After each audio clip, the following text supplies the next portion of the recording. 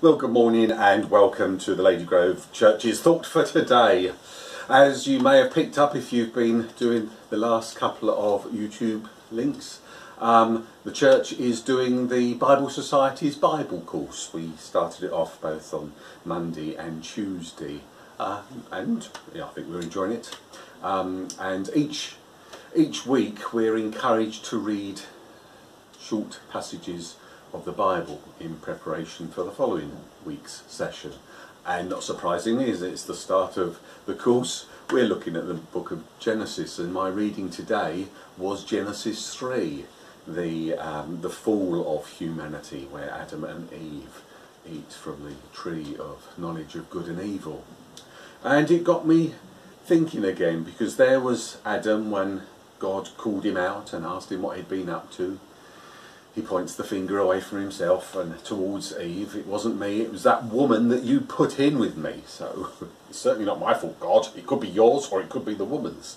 And then, of course, the, the woman points to the snake and says, It's not my fault, it's down to him. And uh, sorry about the joke, but uh, the snake hasn't got a leg to stand on and has to acknowledge that he is at fault.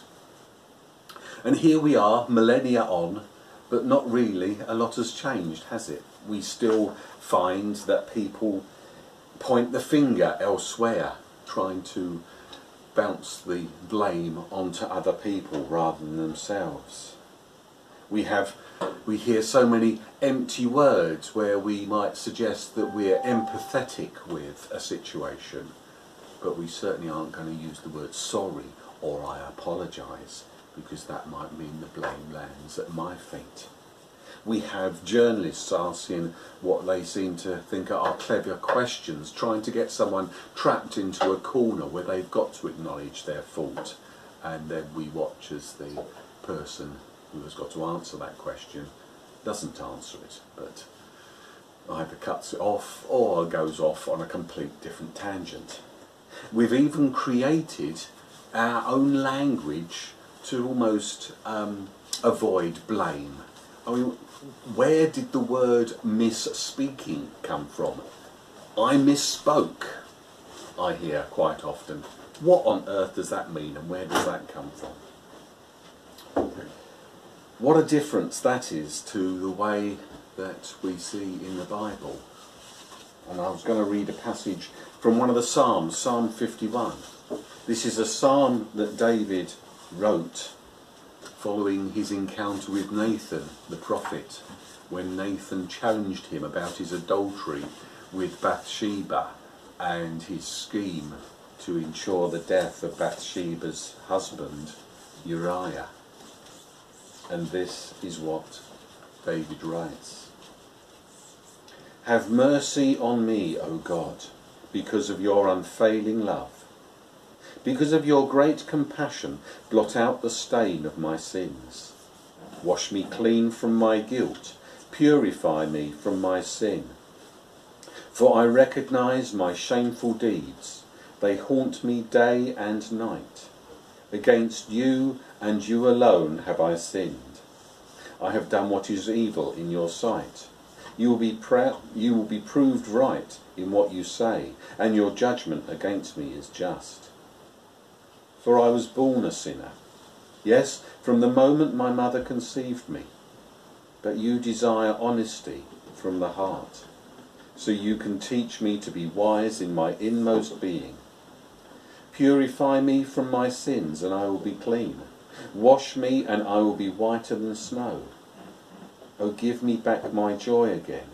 You have broken me, now let me rejoice. Don't keep looking at my sins. Remove the stain of my guilt. Create in me a clean heart, O God. Renew a right spirit within me. Do not banish me from your presence, and don't take your Holy Spirit from me. Restore to me again the joy of your salvation, and make me willing to obey you. Then I will teach your ways to sinners, and they will return to you. Forgive me for shedding blood, O God who saves.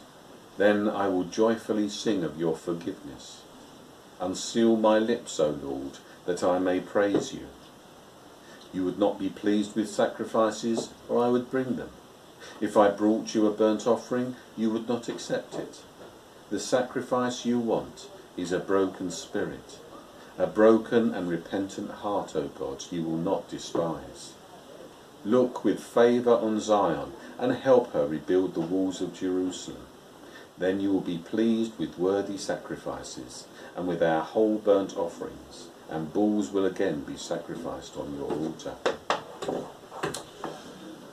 Please excuse the noise in the background, we've got the window cleaners just come round. Um, Elton John, of course, sang a song a few years, maybe a decade ago. Sorry seems to be the hardest word.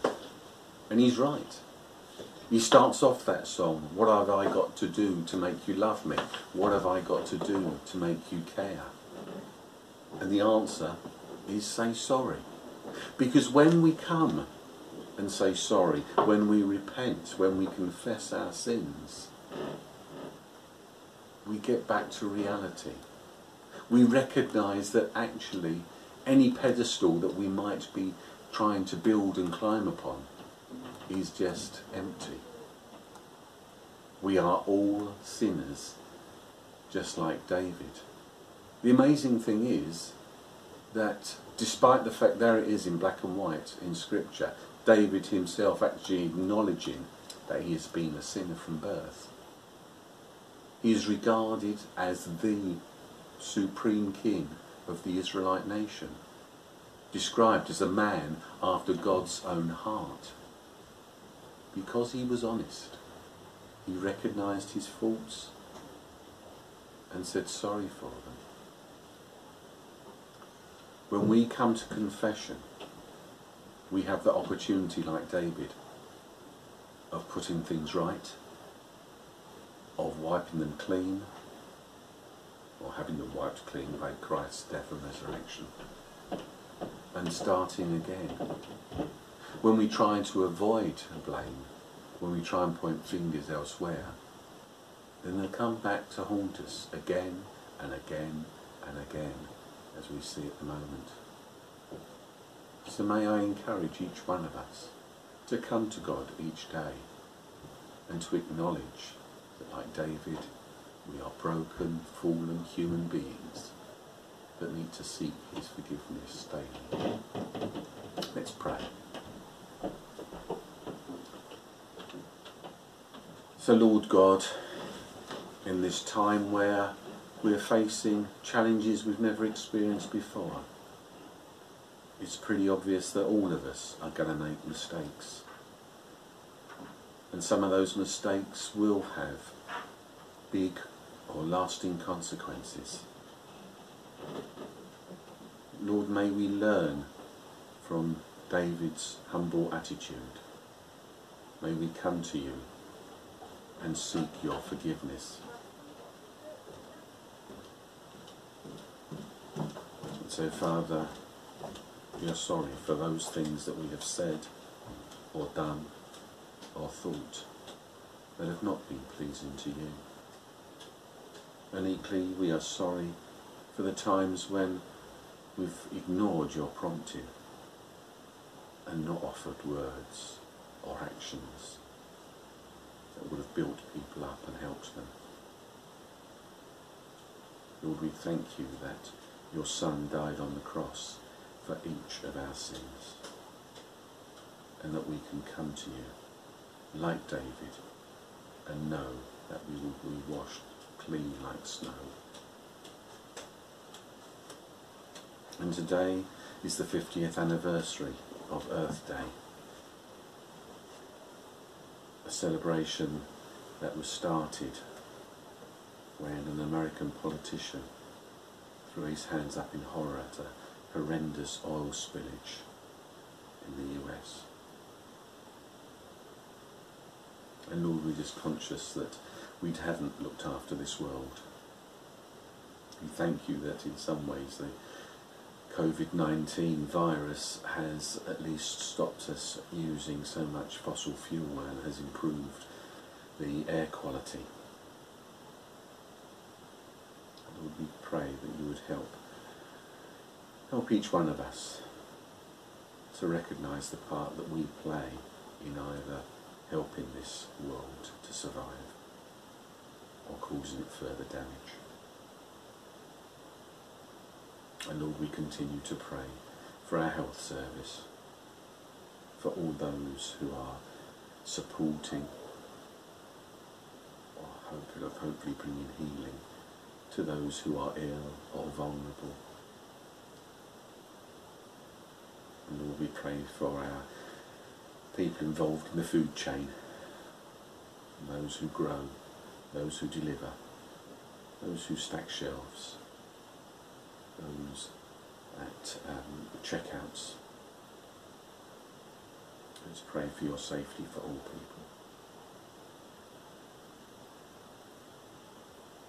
And Lord, we pray for the politicians of this world. We thank you for those who have really grasped the nettle and are helping their countries to gradually get back on their feet. But we pray for wisdom and understanding.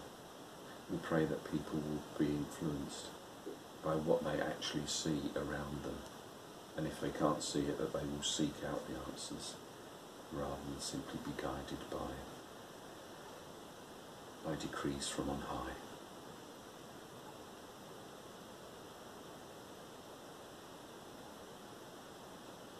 And let's just spend a moment in quiet as we live before God, those things particularly on our hearts and minds at this time.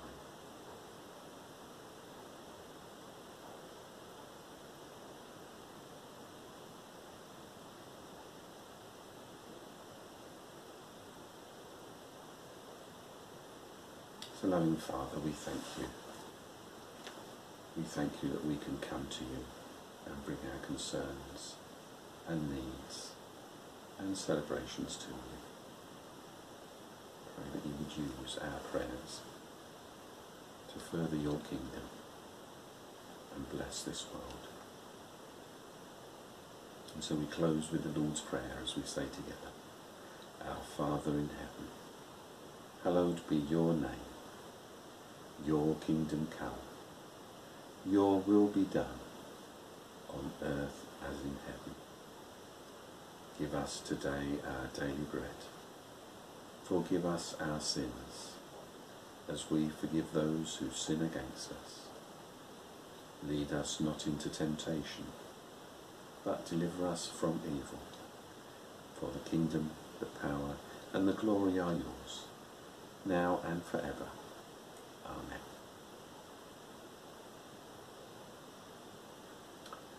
So I'll see you again tomorrow. Take care in the meantime.